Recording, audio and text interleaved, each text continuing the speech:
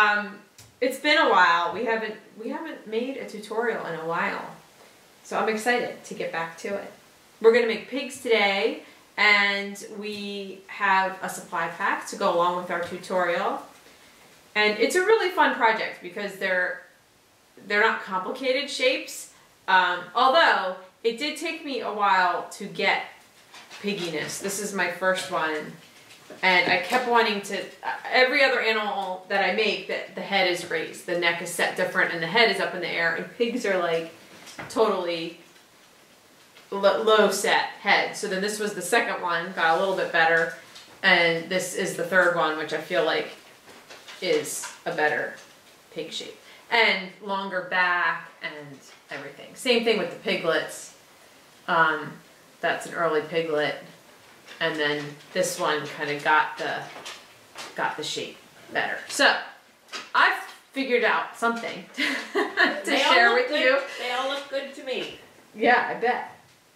So um, we have, like I said, we have the supply pack. We have created a bat for the kit that is um, a special pig color. It's similar to a flesh tone, but it's kind of like faded out and dirtied up a little bit. We didn't like roll it around in mud. We put a color, a color in there that makes it just less pink and less um, pure. So I, I like it. I like it a lot, and it's and it's nice to work with. So we uh, pigs. It's all about pigs today. I didn't have any pig jewelry or pig colored clothes, Uh, so I did pigtails. Yes, it's very fancy. Fancy. I don't know if that's the word, but it's great. it's in honor of the day. Uh, not only are we talking pigs and bacon here, Yeah. the internet is loaded with pig humor. I bet. It it's a little out of control. so you're gonna hit me with one oh now, or yes. okay. Okay. What? Nobody's here. I, I think that was maybe me in my enthusiasm. So, so what do you call a pig that does karate? Pork chop. Yes! That's right up my alley. It- it's I good like stuff. that one. yes. All right, Let's let's get started. let's get started. All right, we're gonna get started by opening up our supply pack. It makes one pig and three piglets. So the pig is made with the 14 gauge wire, and the piglets are made with uh, the 22 gauge wire. Lots of core wool, just takes lots of wool to build these up. And then this is our um, pig bat. And then we've put a few colors in that you can um, just kind of play with for spots, for the feet.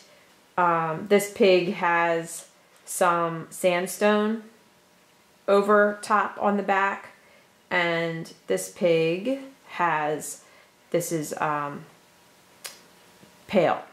Was that what it's called? I think So yeah, so it has some of that on the back. Just tones down the pink a little bit, especially on the older pigs. You could also do white, and then the I've been using this gray on the feet. Um, if you wanted to use your sandstone on the feet, you could. You might not have enough to do the feet and the back, but you have enough gray to do all the feet and um, make a little two-tone spot with the gray and black if you wanted to. Okay, so what we need to do first is make the adult pig armature. So I'm going to get the other wires out of the way. One wire is um, 16 inches and one wire is 20 inches. So you want to pull the 16 inch wire to find the center. And then I just work my way back up. And then you're going to twist two and a half inches for the head. So two and a half inches from the tip and twist gently. You don't need a real tight twist here.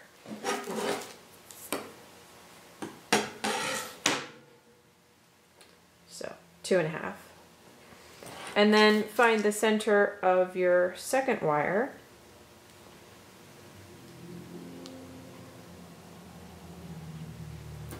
And do a twist um, on each shoulder. So the first wire, the V of it goes onto the base of the neck. And I have not positioned this into a head yet because I'm going to wait to see after I do the shoulders. So that's one and that's two. You want two full twists.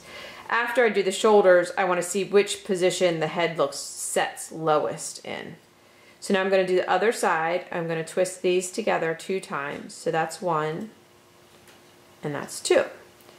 Okay, normally my armatures would go this way, but see how high that puts the head.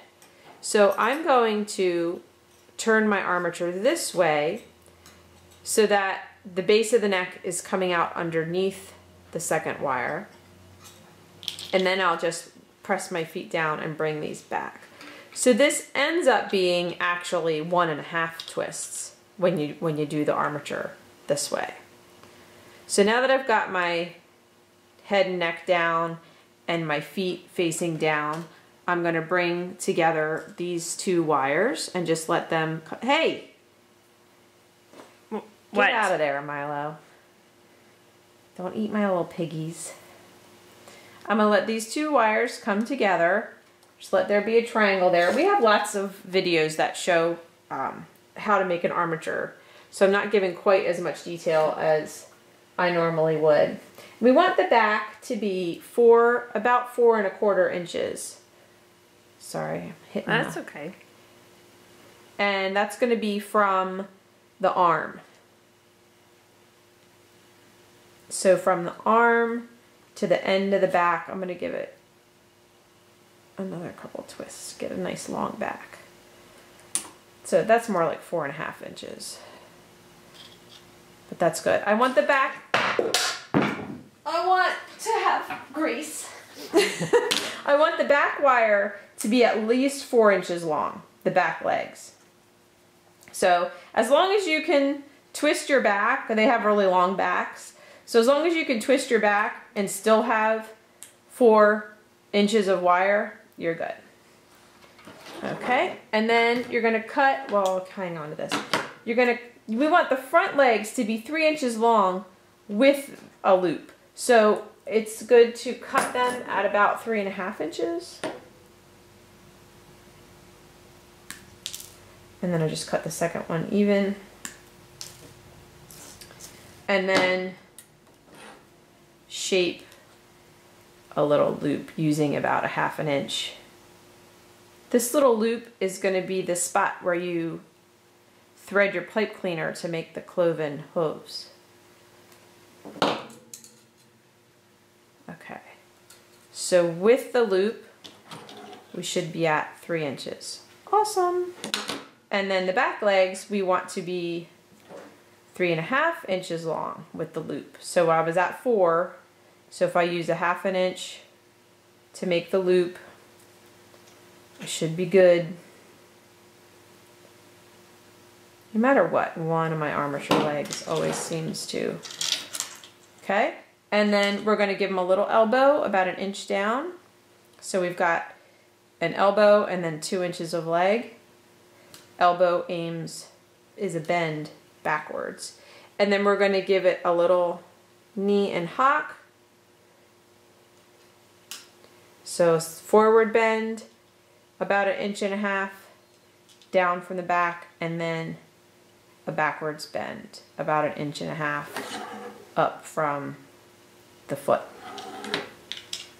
And then the head, we want to give a rise the, to create the dome of the head, and then we want the snout to be about a healthy um, half an inch long so we can wrap a good a good snout. Milo, you need to settle down. Okay, now we're gonna use the pipe cleaner to construct our um, split toes and get some pipe cleaner on the wire. Um, you find the center of one pipe cleaner and it's gonna take the whole length of the pipe cleaner. So make sure you keep it centered um, cause you need the full, that was not me, that was Milo. You need the full length for each side. So you can even just get both sides started make sure that you're in good shape. And then when you come down, you want to go through the loop.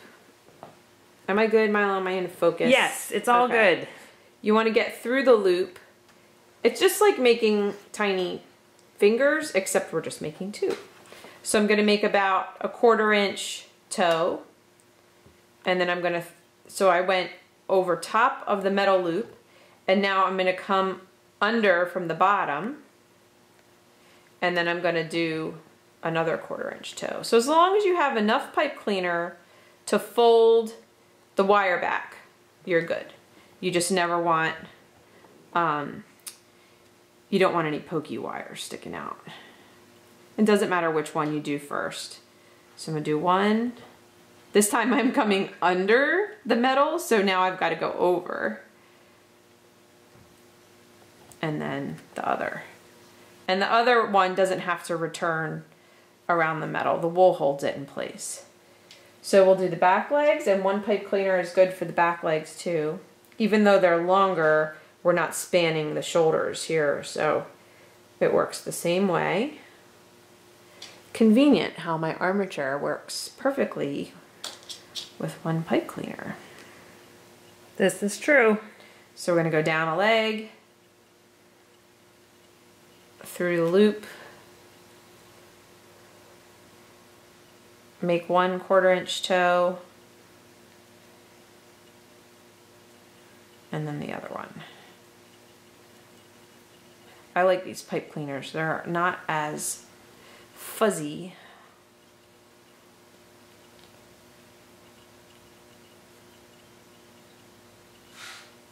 Not a lot of fuzz sticking out. Oh boy, my stomach's growling.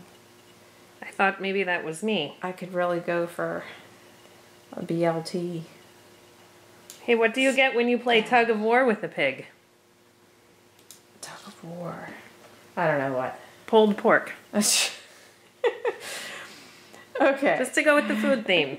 So leave uh, two inches sticking up off the back.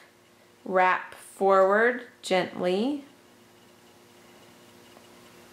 Come un- under between the legs.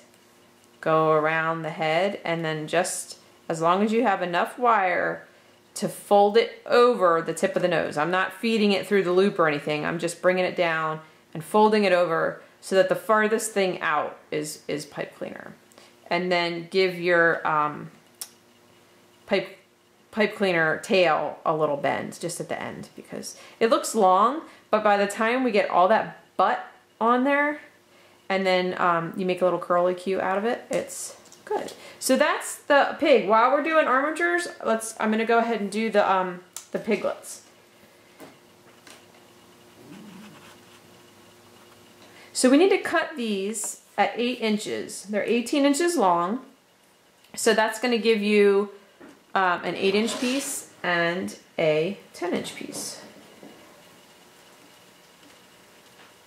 This can be tricky because of the cloth. So I use scissors. use scissors. On the 18, uh, up to the 22 gauge, I can use the scissors. So these are my eight, and these should be 10. Good. Okay, so find the center of your eight inch piece. Twist about one and three quarters inches for their little head.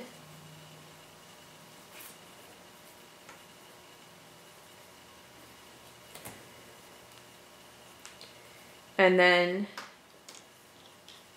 find the center of your 10 inch piece. It's made the same way, except no cloven feet. We just do little tiny wrapped feet. And then I'm gonna twist, let's see, okay, I'm gonna see if I can build the armature the other way so that the head is set low. So I'm gonna put, I'm gonna put this on the back of the neck and then twist it one and a half. That's weird. One and a half. Okay, that kind of worked. Line these up, bring them together, twist the back two inches from the front arm.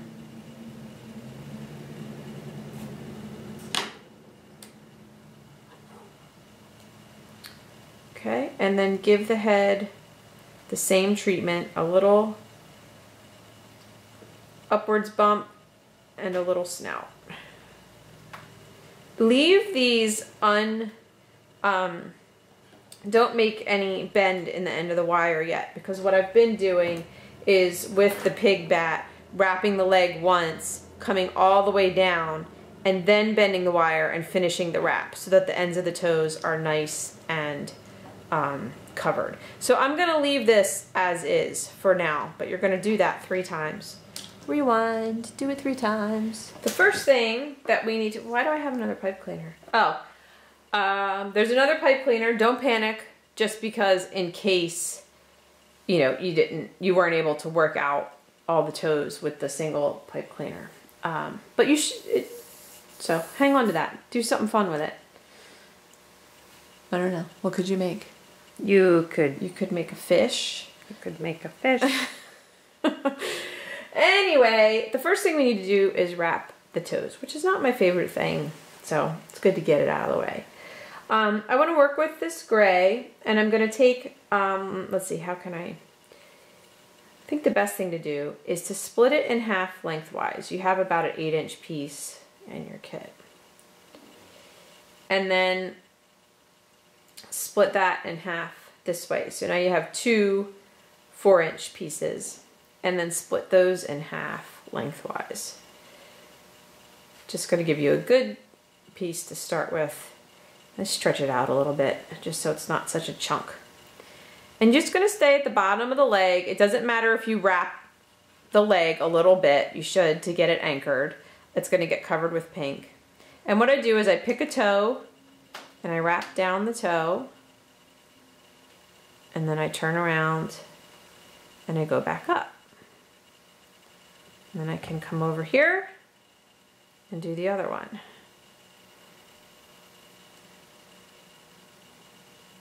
And then once I've gotten both toes wrapped, I can just do a little figure eight, go around one, come over the top, go around the other, just to fill them in a little bit. That was a good amount of wool.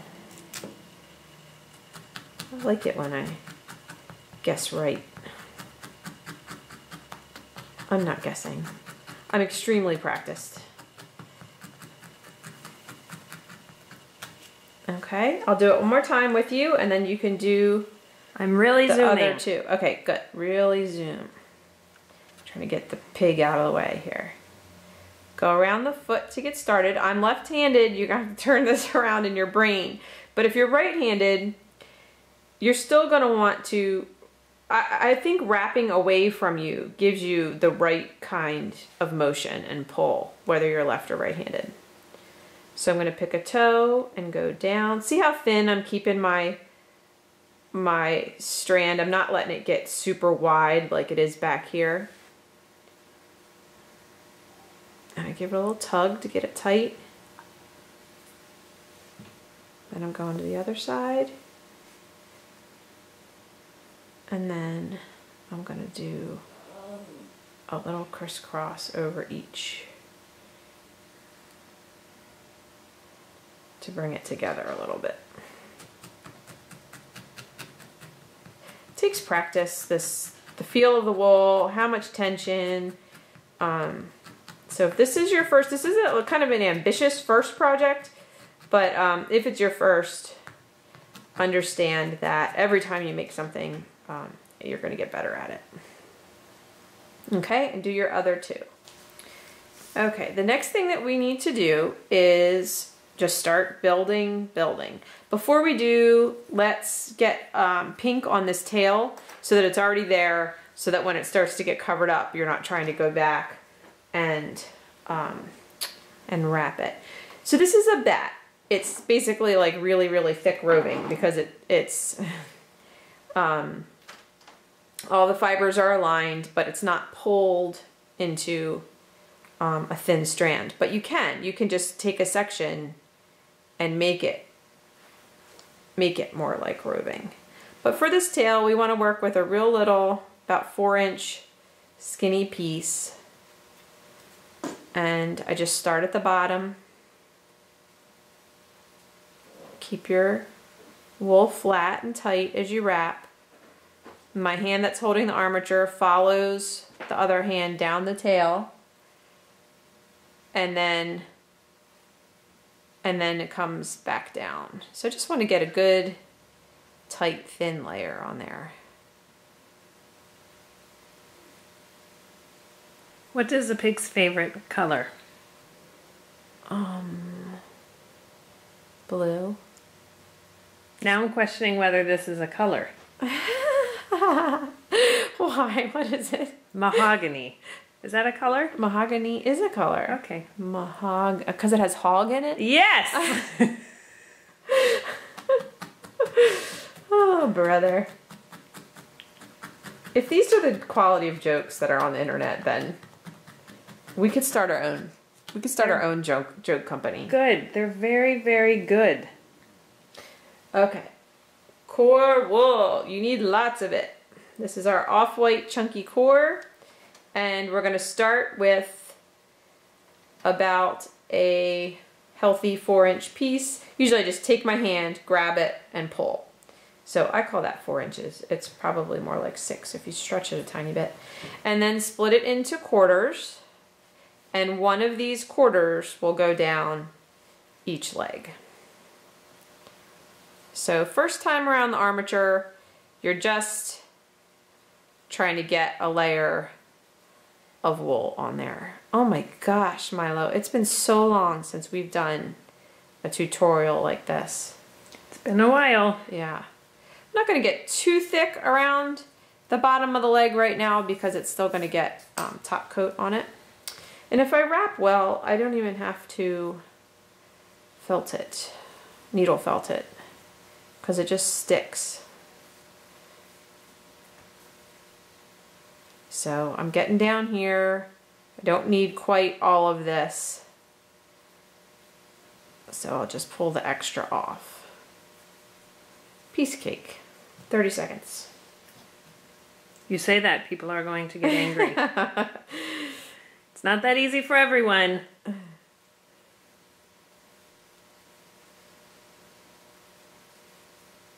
I don't think I could make it look not easy at this point. Of it's a part of my it's become a part of my brain.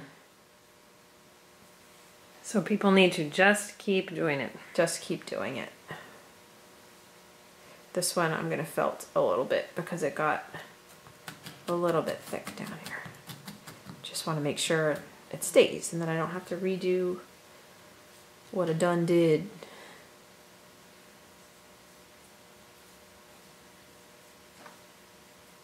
So when you're working on a leg, you gotta get the other legs out of the way. Sometimes I straighten the leg out a little bit and then reshape it after I've wrapped it. But we just have a whole lot of wool to get on here.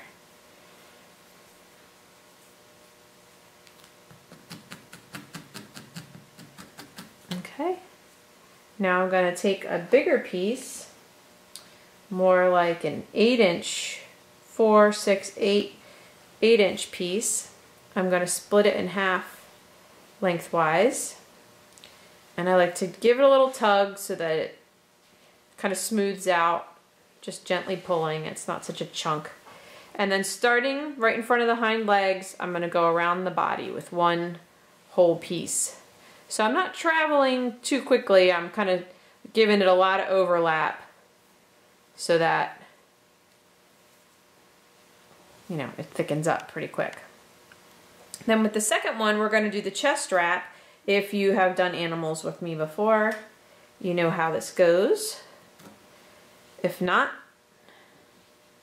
I'll show you now. So I like to go around once, and when I come over the back, I go over a shoulder. And then I come under the opposite armpit. So basically, I've come across the chest. Now I'm going to go over the back again, and to complete the pattern, I'm going to go under this armpit and over the opposite shoulder. So I've made an X on the chest. And then the rest of the wool, I'm just going to wrap around the body. Okay, let's get another 8 inch piece. Split it in half lengthwise. Do one on the body again. Concentrating it a little bit towards the back of the pig to start to even up this body shape. And then the other one, we're going to get some wool on the head.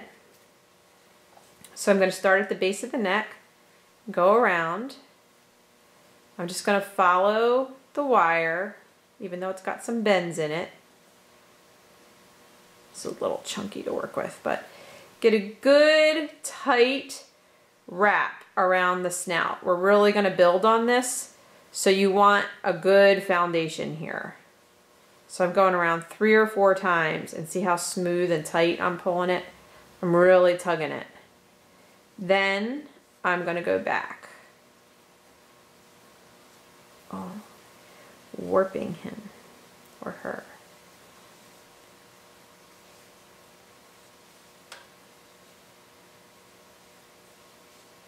Okay. Now let's build up the tops, start to build up the tops of the legs a little bit and join them with the body. So we're going to work with a four inch piece and I think we should um, split it into quarters. I have an idea. So now I've got four pieces. I'm going to stretch them out. So pigs have a nice little hock. um, and we should go ahead and get that built up a little bit. So I'm stretching this out so it's manageable. And I'm going to start at the top of the thigh and come down. And then when I want to exaggerate this bend a little bit. And then I want to go around the top bone, come through the center right here and go around the bottom bone. And you, if, if you're working along with me, maybe just watch this once and then um, rewind. I'm never wrapping the point. I'm skipping the point. And then when I do that, and now I'm going to go back to the top. And now I'm going to go back to the bottom. It builds up a nice little triangular shaped joint here. Then I'm going to go back to the top. And I think that's it. I'll go back one more time, but I've got it real thin now. So I've got it real thin just to finish it out. All right, we'll do the other side. Sometimes I like to work with, if my needles are strong, I work with two needles in my tool because that way I can get right along the edges of wires and stuff. Okay, so we're going to exaggerate this bend a little bit.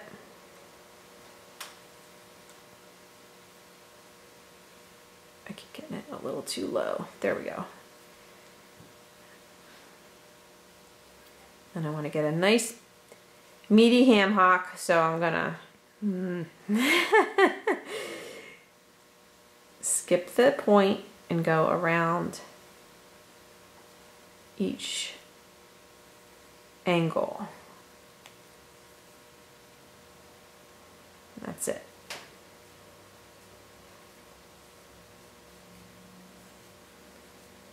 If you just keep smoothing out the wisps of your piece, it'll all just blend together. Okay, now we can concentrate on the tops of the legs. But before we do, let's use these other two four inch quarters that we had and just start at the top of the front leg and come down and concentrate, like linger at the top a little bit so that it gets built up and then come down. So we basically we're trying to taper as we go down. They don't have really have a knee or anything that shows. So we're just trying to build that up and let it taper down.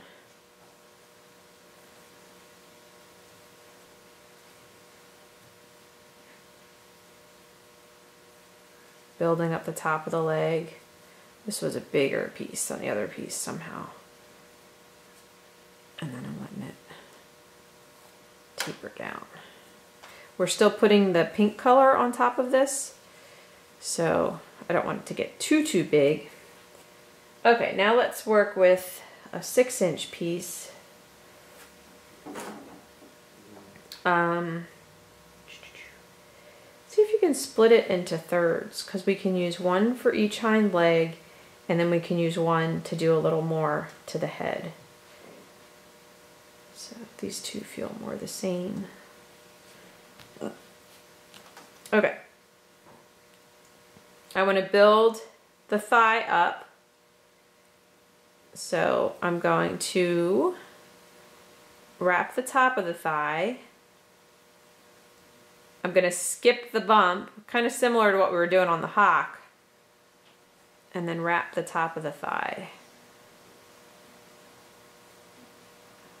And now I'm just going to go around the whole thing and bring it all together. So just starting to build that up a little bit. I like to put it down and felt from the inside of the thigh out. That way I can kind of start to flatten it out. I leave this wrap a little on the looser side so that it doesn't turn into a great big tight log. It has a little bit of has a little bit of give this way. So I'll show you again.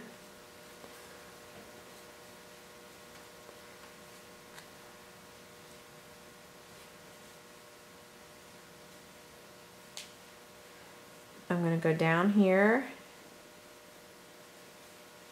and then up here. So it's a little bit of a kind of a figure eight.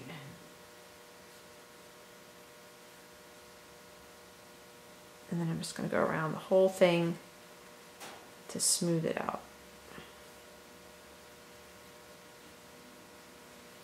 And then stab.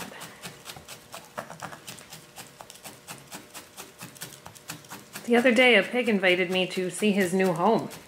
Oh, really? He did, yes. How was that? Uh, It was actually quite stylish. You should be you should be pretty comfortable in a pigsty, Milo. I I won't take offense to that. It's my it's my issue, not yours. okay. So we have a little bump in the head and we're going to do the same kind of figure eight technique here to start to build this up with our other six inch piece. So I'm to go around the back of the head, come through the bend, and go around the front of the head. And if I keep doing that, stretch this out a little bit, it starts to fill in that space. It's kind of crazy that by skipping it, you fill it in. It doesn't make logical sense. It's like a herringbone. I know it doesn't make sense. well, you're skipping here, and every time you cross here, The so place it- you want the wool, you skip. No, you don't want the wool up here. You want it in here. So you, you never wrap here, Right. but it keeps crisscrossing right here, which Right. fills it up. I use it that technique all the time, so much. Okay. More wool. Okay, let's see. What do we need now? So many pieces. Let's get another good one on the stomach. So let's do let's do let's do an eight inch piece. Let's split it, split it in half lengthwise. Stretch it out. and just do a nice big wrap all the way around the body between the legs. Between the legs meaning from here to here.